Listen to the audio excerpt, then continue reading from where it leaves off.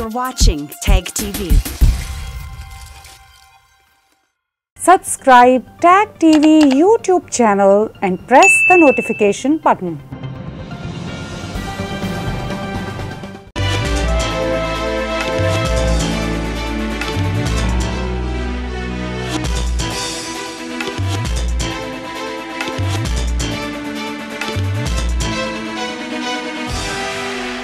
From Kashmir to Kanyakumari, India is a spellbinding mosaic of culture, tradition, languages, and an extraordinary mingling civilization. Keeping its age-old culture maintained, today the country is taking huge strides in the path of development. Hello, I'm your host Skyrim Zimik, and today in our episode of My India, we bring you some of the stories that will give a glimpse of our country's diversity.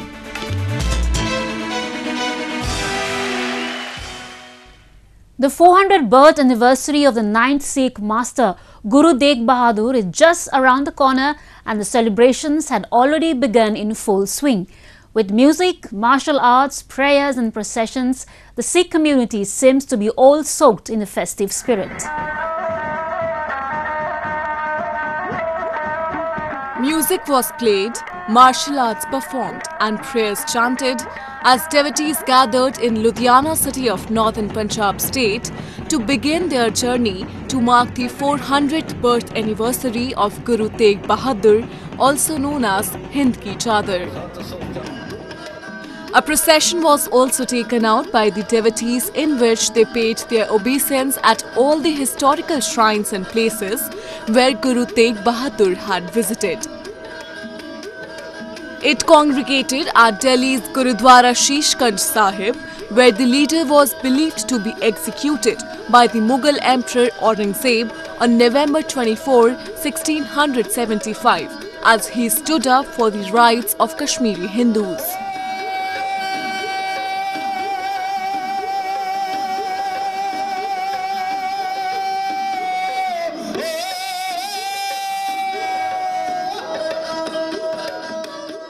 एक यात्रा का आयोजन किया गया, जिसे पंजाब के विभिन्न गुरु स्थानों पर होते हुए, वहाँ पर नतमस्तक होते हुए, हम सब गुरुद्वारा चांदनी चौक, शीशगंज साहब पहुँचे हैं, जहाँ पर हिंद की चादर श्री गुरु तेग बहादुर साहब की शहादत हुई, जो एक दुनिया के अंदर बहुत ही लामिसाल शहादत है। दुनिया में आज तक जितनी भी शहादतें हुई सब लड़कर उन्होंने अपनी शहीदी प्राप्त की। लेकिन गुरु तेग बहादुर साहब ने ऐसी एक शहादत दी जो पंजाब से चलकर विभिन्न विभिन्न जगहों पे होते हुए संगत को एक संदेश देते हुए खुद पहुँच के यहाँ अपनी शहादत दी शहीदी प्राप्त की। Meanwhile, in Punjab's Amritsar city, thousands of Sikh devotees participated in a religious procession, Nagar Kirtan, and sang hymns. As a part of the procession that started from the Golden Temple, Guru Granth Sahib, the Sikh holy scripture, was brought out of the shrine in a flower-decked vehicle. The procession saw devotees perform Gatka, a Sikh martial art, and demonstrate sword fighting skills among others. 400 ਸਾਲਾ ਗੁਰੂ ਤੇਗ ਬਹਾਦਰ ਸਾਹਿਬ ਜੀ ਦੇ ਪ੍ਰਕਾਸ਼ ਪੁਰਬ ਦੇ ਲਈ ਨਗਰ ਕੀਰਤਨ ਕੱਟਿਆ ਜਾ ਰਿਹਾ ਹੈ। ਜਿਹੜਾ ਦਿੱਲੀ ਲਈ ਰਵਾਨਾ ਹੋਣਾ ਸੋਹਣੀ ਪਾਲਕੀ ਸਾਹਿਬ ਸਜਾਈ ਗਈ ਹੈ ਤੇ ਦਿੱਲੀ ਤੋਂ ਅਸੀਂ ਸਪੈਸ਼ਲ ਆਏ ਹਾਂ ਗੁਰੂ ਤੇਗ ਬਹਾਦਰ ਜੀ ਸਾਹਿਬ ਜੀ ਦੇ ਗੁਰਦੁਆਰੇ ਦੇ ਦਰਸ਼ਨ ਕਰਨ ਲਈ ਤੇ ਨਗਰ ਕੀਰਤਨ 'ਚ ਸ਼ਾਮਿਲ ਹੋਣ ਲਈ। Guru Tegh Bahadur was born in Amritsar in April 1621. He was named Tegh Bahadur, which means mighty of the sword, by the sixth Sikh leader Guru Har Gobind for his courage in a battle against the Mughals. Every year, his birth anniversary is observed with great enthusiasm by the Sikh community across the world. India is a vast country with people of different class, creed and cultures residing on its land. This sheer variety tells us the story of unity and solidarity that the country stands up for. So celebrating this beautiful unification of different faiths along with propagating the message of peace and harmony, a day-long religious conference was organized in Srinagar city of Jammu and Kashmir. With an aim to fortify the bond of love and communal harmony among the people of Jammu and Kashmir, a religious conference was organized at the Sher-e Kashmiri Convention Center in Srinagar city. Inaugurated by Lieutenant Governor Manoj Sinha, the conference urged religious leaders to spread the message of peace and brotherhood among the citizens of the Union Territory. The Lieutenant Governor highlighted that Jammu and Kashmir is an ocean of spirituality and multicultural harmony has always been one of the key features of the territory. ये अध्यात्म का भी समुंदर है मैं कहूँगा तो गलत बात नहीं होगी यहाँ की जमीन सदियों से मुझे लगता है कि सूफी दर्शन के लिए सैविज्म के लिए बौद्धिज्म के लिए तथा मानवतावाद एवं सहिष्णुता की मिलीजुली संस्कृति के लिए ये पहचान जम्मू कश्मीर की रही है। सभी धर्मों के बीच, विभिन्न आस्थाओं के बीच, एक ऐसा तारतम्य हमेशा बना रहा है यहाँ कि प्रेम के अतिरिक्त आध्यात्म का ही दर्शन जम्मू कश्मीर में होता रहा है। और मुझे लगता है कि आप सब, आप संसार के किसी भी मज़हब को लें, उस पर देखें, उसको देखें तो दो ही रास्ते सब बताते हैं। एक ध्यान का रास्ता है और दूसरा प्रेम का रास्ता है कोई ऐसा मजहब मैंने नहीं पढ़ा है जो इसके अलावा कोई तीसरा रास्ता बताता The day long conference witnessed participation of around 550 religious leaders, including Maulvis and Muftis, with around 200 youngsters and 200 women.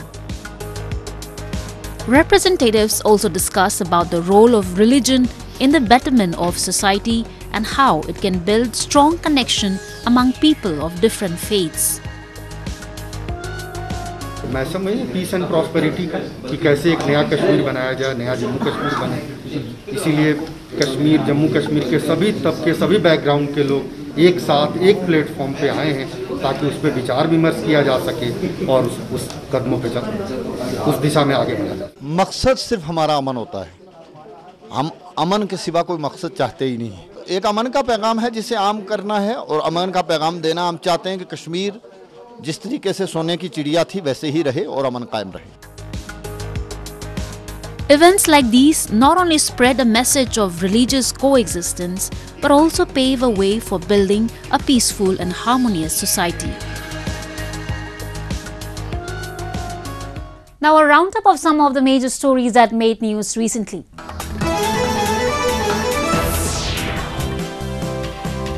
A man in India's southern Hyderabad city is running an 80 year old shop by repairing antique radio sets.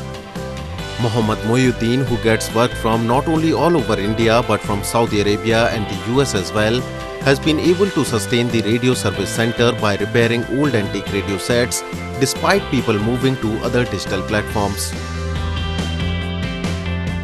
ये आजकल जो technology आज chips के आ गए हैं और motherboard के आ गए हैं ये जो बोर्ड चेंज करने के ये वर्क में जो है कोई रिपेयरिंग नहीं होता। उसमें जो है सिर्फ़ चेंजिंग होता।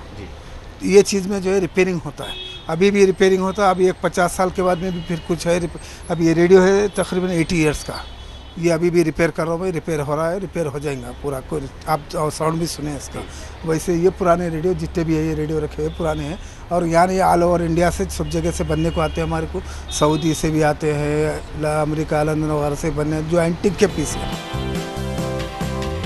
The service center named after Mohyuddin's father was set up after his father brought a radio from Germany in 1948 and managed to sell it after repairing it.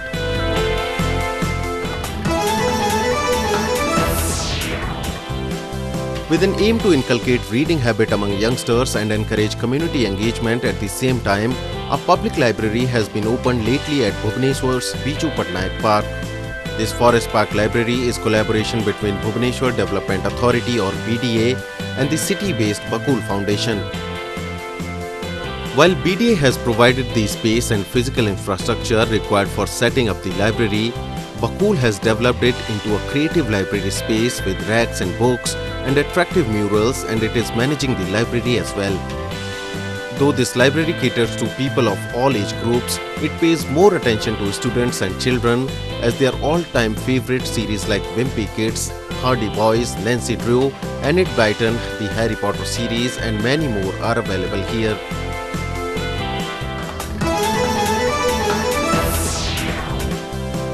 Around 60 vintage cars rolled out on the roads of India's western Panaji city at a vintage car rally.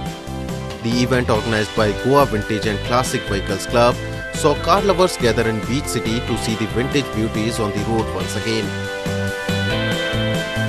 This is one way that the cultural identity of a country is displayed. I think uh, you see the number of people here today on the roads. It's a great uh, occasion for a Sunday. People are enjoying themselves.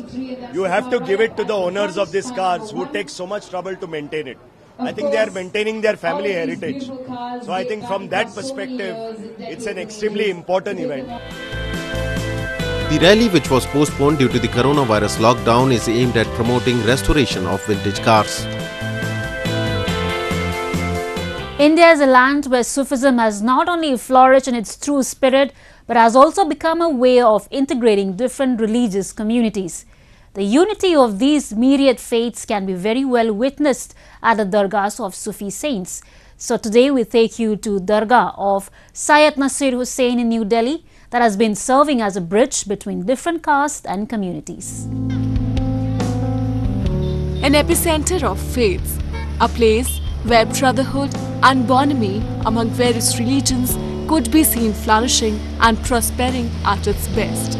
The Dargah of Sayyid Nasir Hussain Rahmatullah Alaih, situated in the bustling lanes of New Delhi, is one such melange of diversities. Situated in Harinagar area of the national capital, the shrine witnesses a rush of devotees throughout the day. Whether one is Hindu, Muslim, Sikh or from any other community, the aroma of the shrine serenades them into cheerfulness and a belief of fulfillment ensues in them.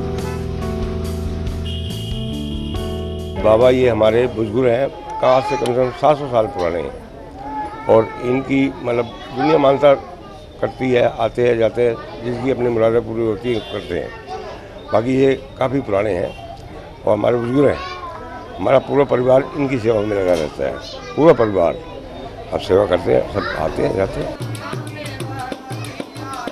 Qawwali sung by the local artist in the evening makes the whole atmosphere even more spiritual at the dargah.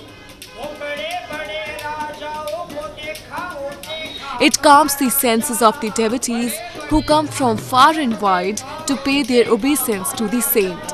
Sweet rice is also distributed among devotees as holy sacrament. It is believed that saint fulfills the wishes of all and nobody returns empty-handed.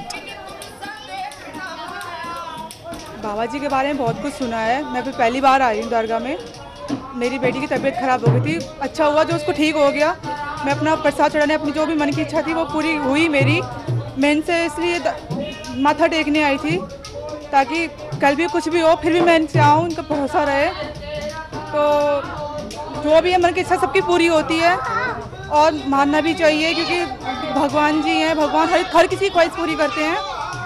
तो I hope सबकी ख्वाहिशें पूरी हो, जो भी दरगाह में आया हुआ है, दुख में, सुख में, जो भी है, उनकी सबकी मन इच्छा पूरी हो। ये ज़्यादा चढ़ाती हूँ मैं, तबर्रुक लाती हूँ, बैठती हूँ सबको मेरी बहुत अच्छी बात है। शुरू से शुरू से बहुत अच्छी है ये। हमें तो 40 साल हो गए The message of peace and brotherhood comes out loud from these dargahs that have been acting as symbols of communal harmony for ages.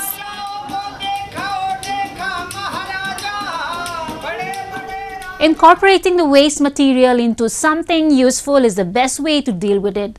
Moving on the same lines, a Kanpur-based startup Phool is recycling the floral waste to make incense sticks. The Ganges is India's holiest river and a lifeline for hundreds of millions living on its banks for generations. Deeply revered by millions, the river also remains as paradox as it is subjected to being polluted by sewage, chemicals, industrial, domestic, and floral waste, which is offered by people to holy deities in temples.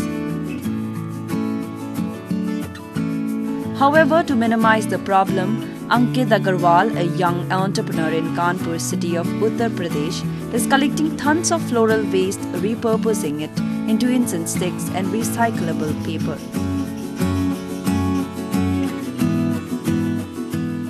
Every year, more than half a billion Hindus go to temples to worship, and we offer flowers to our gods.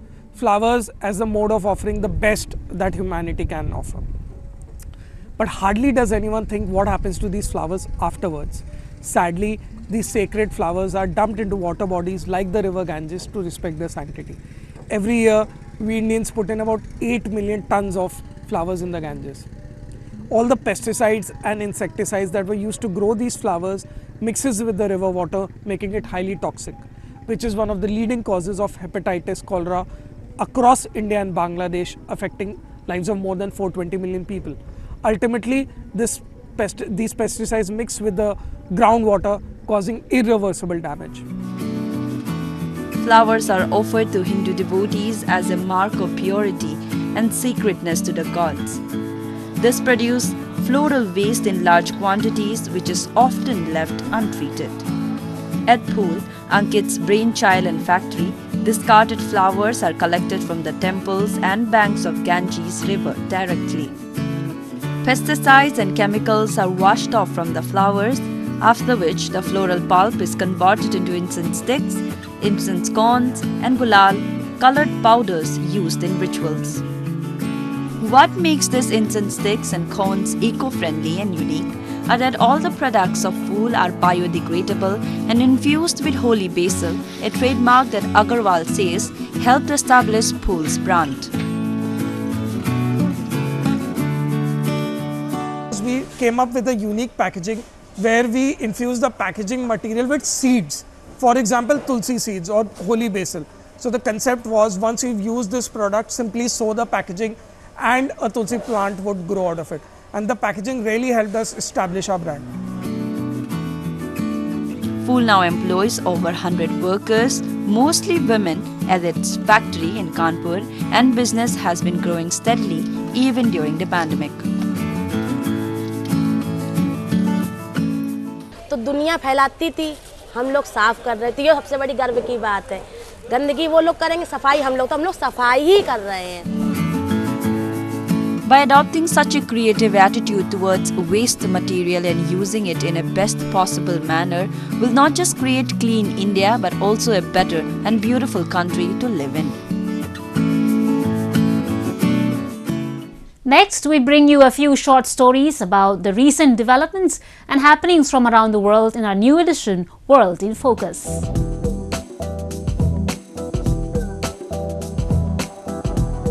Super Nintendo World, located inside Universal Studios in Osaka City of Japan, has finally opened its door for visitors. Created by a Japanese multinational consumer electronics and video game company, Nintendo Co. Limited, this $550 million Mario Team attraction was initially meant to open last summer, but its timeline got delayed due to the pandemic. The park is a real world version of game designer and producer Shigeru Miyamoto's Mushroom Kingdom, in which visitors get to meet with jumping piranha plants, punchable coin blocks, and a flag top mount bean pole. マリオにですね皆さん自身になっていただくということで楽しんでいただけるんじゃないかなというふうに思いますなのでそれを実現するためにですねまあ皆さん入っていただいたら分かるようにあの映画のあのゲームの世界がですね完璧に出来上がっていて本当に等身大のバックフラワーや等身大のクッパがですね目の前に現れておおって驚けるようなあの空間まず空間自体があの非常に魅力的なものになっていると。The major attraction at the Super Nintendo World include Mario Kart Race, a ride employing augmented reality headsets and giant question blocks that visitors can punch as many times as they want. The addition of Mario has bulked up Universal Studios' Japan roster of franchises, which includes Minions and Jurassic Park.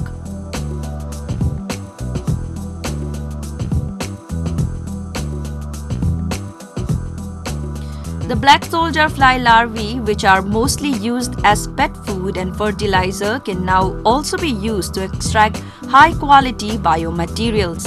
At Singapore's first insect farm, Insectta, these maggots are being bred so that scientists can extract high quality biomaterials from them that can be used in pharmaceutical as well as electronics. Located in the middle of city's residential area, the farm has hundreds of millions of larvae that eats four times their body weight every day. In one of the chambers, the adult flies lay eggs that will hatch to replace the larvae which have been used for extraction. Black soldier flies are renowned for their ability to consume food waste, any kind of food waste, and transform that into body mass really quickly. And you rarely find any animal that's able to do that as efficiently as them, right? Now, the second reason, which is really important in urban Singapore, is they're not pests. They are not vectors of any disease. Um, they're not a nuisance. So that's really important, especially when we are set up right next to the public library. Insectta is working in conjunction with the Agency of Science, Technology and Research and the company's technology which is still patent pending milks the numerous lucrative substances from the larvae in a single environmentally friendly process. One of the key product is melanin, which conducts electricity and can be used in semiconductors, supercapacitors or batteries. Another product, chitosan, has anti-inflammatory properties and is useful for cosmetics and pharmaceuticals.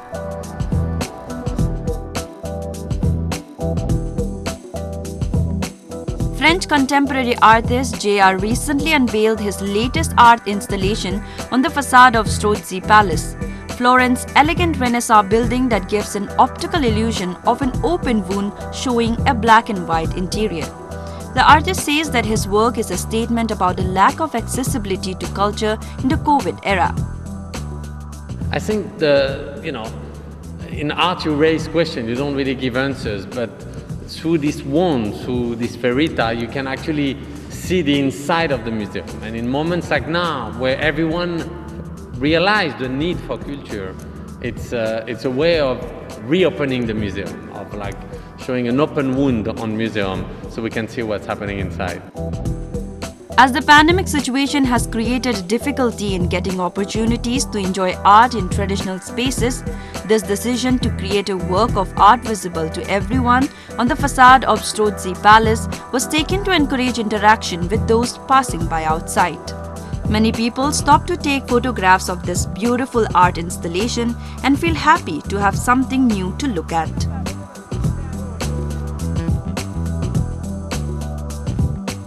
That's all we have for you this week. Your comments and suggestions are important to us. Do give us your feedback at myindia. Now we'll leave you with the colorful visuals of pre-Holi celebrations, primarily in Mathura city of Uttar Pradesh. I'm your host, Kairim, and it's goodbye from the entire production team.